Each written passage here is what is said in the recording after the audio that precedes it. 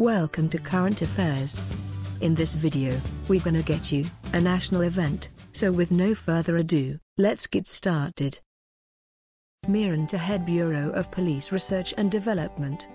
Maharashtra Cadre, IPS Officer Meeran Chadha Borwankar, has been appointed the new Director General of the Bureau of Police Research and Development. An Indian Police Service officer of the 1981 batch, she will hold the post till her retirement in September 2017. Earlier, Chadha Borwankar created history by becoming the first woman police commissioner in Maharashtra. She was the Pune police chief in 2010-12.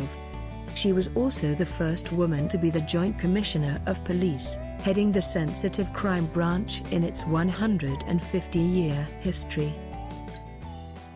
For more updates, subscribe to the channel, and don't forget to like and share. Peace.